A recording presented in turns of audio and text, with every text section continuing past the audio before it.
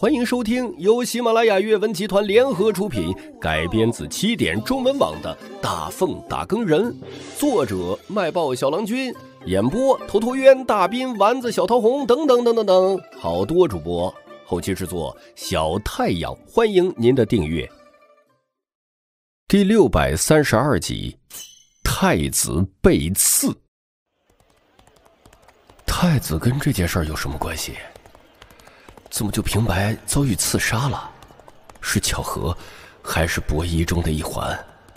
如果是后者，那也太惨了吧！一大早听闻此事的许清安立刻去见魏渊，但是魏渊没有见他，无奈之下只好转道去了驿站，打算和郑兴怀讨论。郑大人外出了，并不在驿站。背着牛角弓的李汉迎着许清安进屋，沉声说道。最近官场上多了一些不同的声音，说什么镇北王屠城案非常棘手，关乎到朝廷的威信以及各地的民心，需要慎重对待。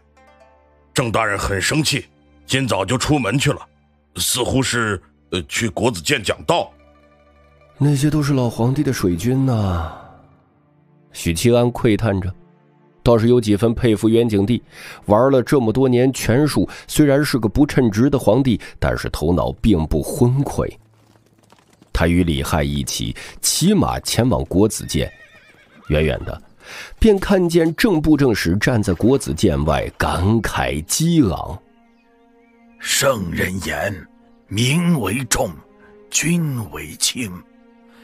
镇北王以亲王之身屠杀百姓。”视百姓如牲畜羔羊，实乃我读书人之共敌。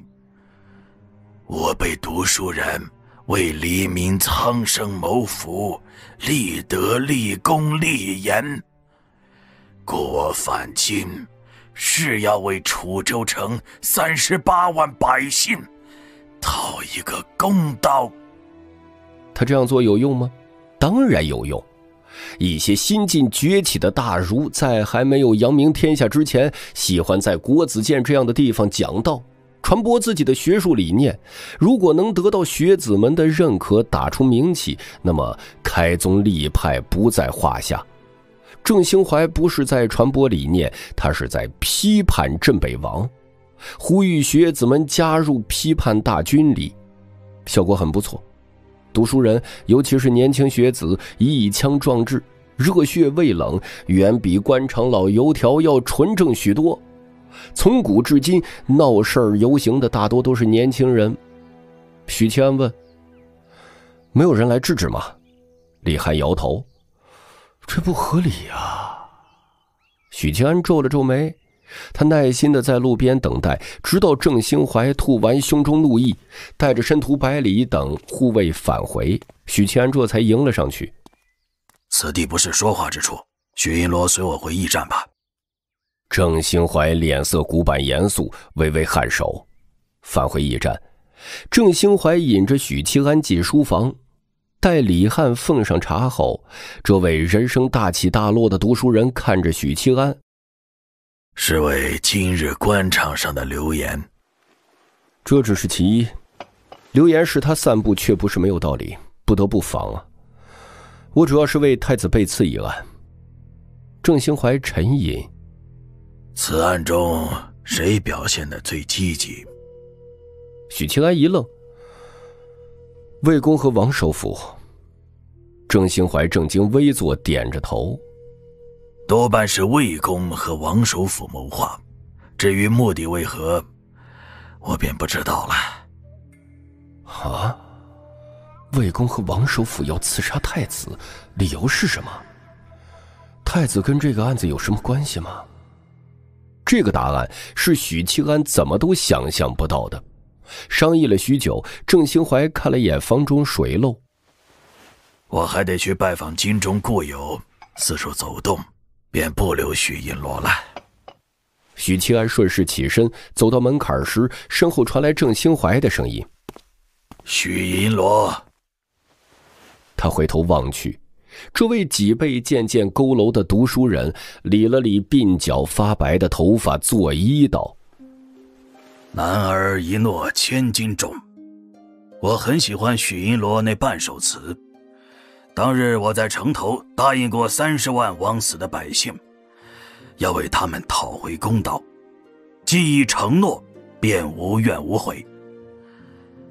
待此事后，郑某便辞官还乡，今生恐再无见面之日，因此，本官提前向你道一声谢谢。许七安转过身，脸色严肃，一丝不苟的回礼。他打开房门，踏出门槛，行了几步，身后的房间里传来郑兴怀的吟诵声。少年侠气，交结五都雄。肝胆动，毛发松。立坛中，死生同。一诺千金重。世事纷扰，嘈杂。若能功成身退，只留得一席悠闲自在，田园牧歌，倒也不错。许清安笑了笑。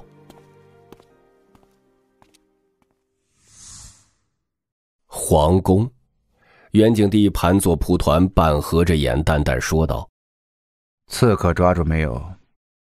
老太监摇头：“没有消息传来。”既抓不住，便不许抓了。